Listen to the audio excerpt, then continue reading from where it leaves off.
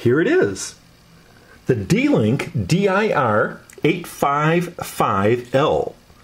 Um, this is the top of the line D-Link router. This is the one that has everything. Every every little thing. It, uh, it's uh, it's got dual band, three antenna MIMO. It's IP uh, version six enabled, and the most intriguing thing is the Smart Beam. Uh, let's on the side here they have some stuff here.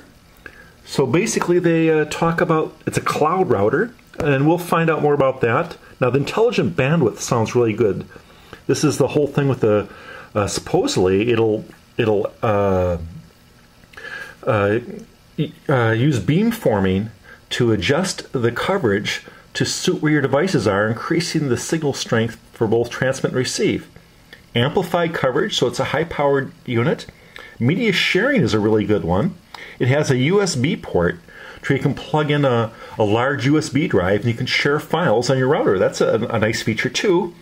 And blazing wired speed, it's got giganet or gigabit uh, routing. It's got a four port gigabit switch, which is actually very nice, and, and the cloud remote access. Well, we'll see here. These are all really good features. Well, when I said it was the top of the line, I guess I was uh, a little bit wrong because here's the, the Cloud Router 3000, uh, the DIR 855L here, and they do have uh, one that's a uh, uh, 5700, which is, I think, basically the same thing with uh, the AC, you know, the 802.11 AC standard. And uh, that, that would be nice for newer things, uh, but you'd certainly need to have an AC compatible uh, networking card to, to, do that. But, you know, maybe that'd help out in the fu- future. Okay, I just opened the box. There's a little pamphlet here, a quick install guide, and a GPL code statement. Ooh, I, I, wonder if this thing has uh, any open source software like the Linux based uh, Tomatoes or DD-WRT. Uh, it's got a, uh, a blue uh, network cable, a power cord. it's fairly large, but it'll only take up one spot. And here's the, the actual router itself. Well, get a better look at that out of the package. Okay, fresh out of the box. I removed it from this little piece of plastic on the bottom, and uh, you can see it's it's uh, seems to have a shiny black plastic, uh, so they have it covered with um, some sort of a protectant to make sure that it doesn't get scratches or fingerprints over it here. And uh, on the back, it's completely round. This is the top. This is the bottom. Now on the back, I don't know if you can see, but you can see there's at the top there's a UPS, uh, a USB, excuse me, USB connector where you can put yourself a thumb drive for, for attached storage, network attached storage. Uh, a WPS button so that you can uh, link to, to WPS uh, connected things and share a password automatically. Four gigabit uh, ports, four port switch, and then the, yellow one on the bottom is the WAN uh, connector for the internet. where you hook up your your cable modem or DSL modem, and then there's a power switch, so you can turn it on and off, which is a, a nice feature. I mean, I would never want to turn it off, but some people might want to turn their router off. And it has a uh, a, a, a, um, a, switch where it comes out when it's off, and then you push it in, it locks in, and then here's where the power adapter is. So let's look a little bit more. Okay, I peeled the pieces of plastic off, and I made two discoveries.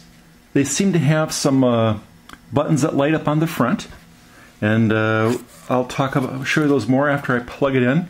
And it seems to have a sticker that can stick onto the router with the default password. And it seems to have a different default password for uh, every router, and uh, I guess that's a, an added security feature. Now, one more thing on the, the password, along with that sticker they gave me that I could paste on something, they there it's it's it's on the bottom. There's also the password and the SSIDs here. And then they've also given me a quick configuration card that has the passwords and the SSIDs.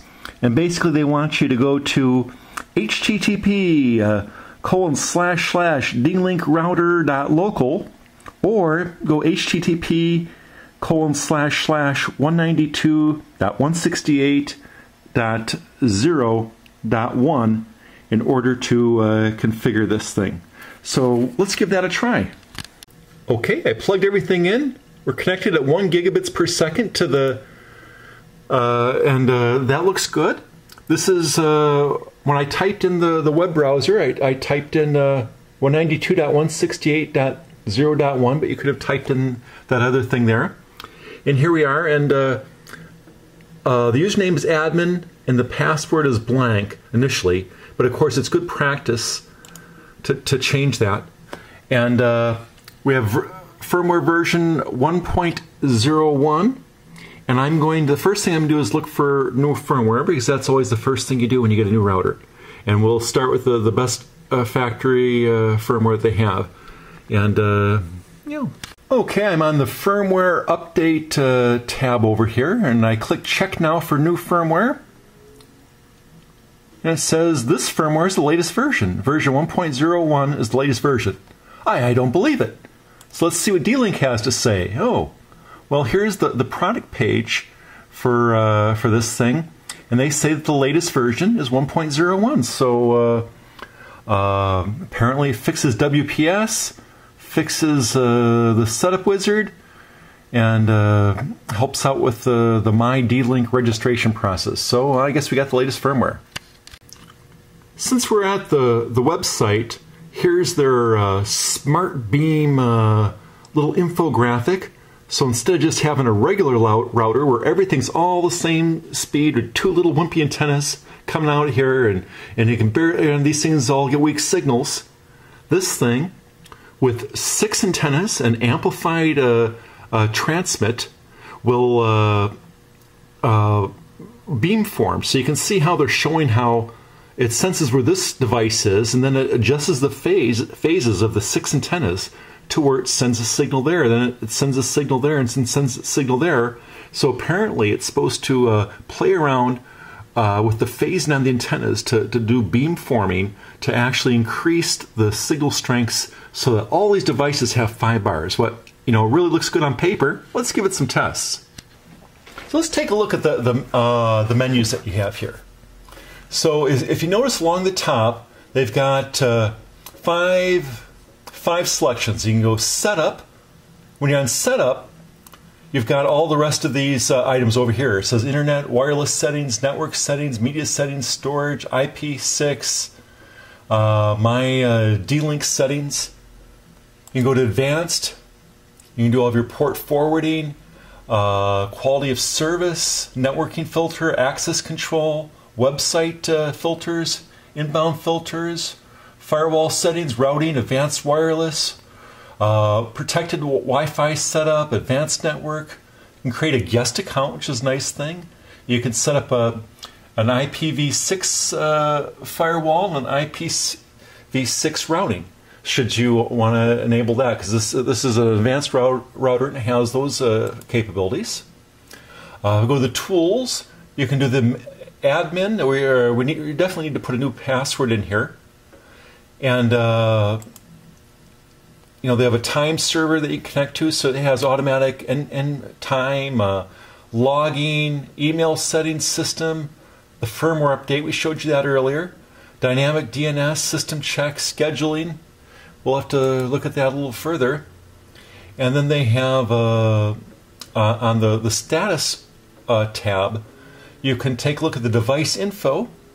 And this is just the way it is uh, uh, fresh out of the box, nothing changed. I went to, to channel six, and uh, and then the uh, for the five gigahertz band, it goes to channel forty four.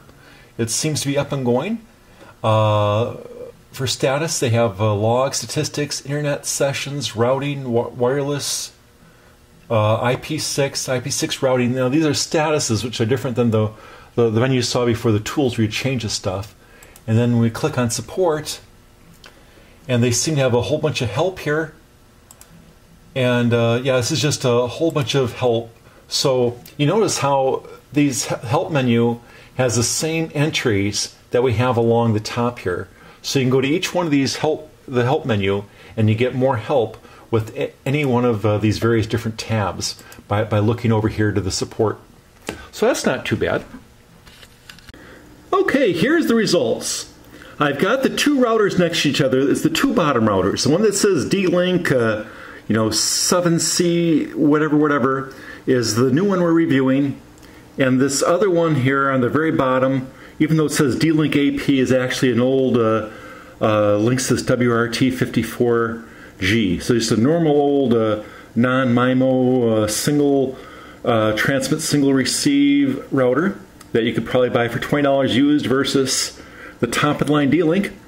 And survey says, well, the, the D-Link has a 57% signal strength, and my old uh, old reliable has a 40% signal strength. So there is an increase in signal strength. Uh, one caveat, uh, the network card I'm using right here is just a, a G network card. It's uh, not a, an N or any kind of a, a MIMO card, and that, would make a big difference, I'm sure, uh, in connecting up, up here. We're just talking uh, uh, 802.11G speeds. You know, we're not talking N or anything uh, higher than that. So uh, the good news is, is uh, the, the new D-Link works, and it does have stronger signal. And, you know, it's not 100%, and by the way, all the rest of these are just my neighbors, and they're all you know like 100 yards away in various different directions. So uh, I, would, I, would, I would guess this is good news. I mean, stronger signal is better. Okay, I think I've kind of got a handle on this network attached storage thing, or the uh, they call it the media server. So uh, I logged in and I'm uh, on the setup tab and I go to storage. Now, there's really not much you have to do here, but I'll click on the SharePort mobile manual setup. There's a wizard that you could do, but it, does all the same stuff here. So basically, you want to make sure enable SharePort web, web access is enabled. And then you can, uh, if you notice it uh, for the access port, it's 8181. And you can add new users. And uh, you can see right here the number of devices. This is uh, right down here is the device I add. It's the USB device, and it says it's like a 30 gigabyte. And it's here's the lame part. You actually got to take the device out, and you got to copy over all of your uh, media files and documents and music and all the rest of those things to the media device, and then plug it back in. So uh, I was really upset that I couldn't upload to it. And then uh, I made a, a, a user. I, I said I, I, made the user NAS and uh, and I selected, I browsed to to the USB device, and that still didn't work. Apparently, it's got to be the access path has to be the, the backslash. And when I did that, everything kind of worked. So let me just show you what you do here. So we'll just open up a, a, web browser, and we'll go to uh, 192.168.0.1 colon 8181. And so when I do that, I come here. Let me just type admin and the admin password is still blank. We'll log in. And then it'll categorize all of your stuff. So if you if I click on movie, you can see all the movies I have and you can play them from the web access. But uh, like I say, I was just a, a little uh, a little well, okay, never mind. I guess I can do it. I, I can do an upload. Okay, now that I logged in as root, so I clicked up in this upper corner here and it says access my device. Here's the device. And uh, I guess you can add new stuff here. So I guess it's not that bad. Uh, it was just a little, a little, hard to figure out. And for some reason, the help didn't actually have a, a, a setting for this. It's, it's a little lame, but I guess it works. Okay, here's what the router looks like when it's on. You can see the, the two green lights on the front there.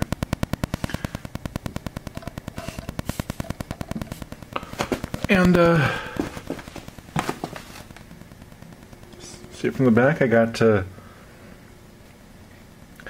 uh, thumb drive connected in here.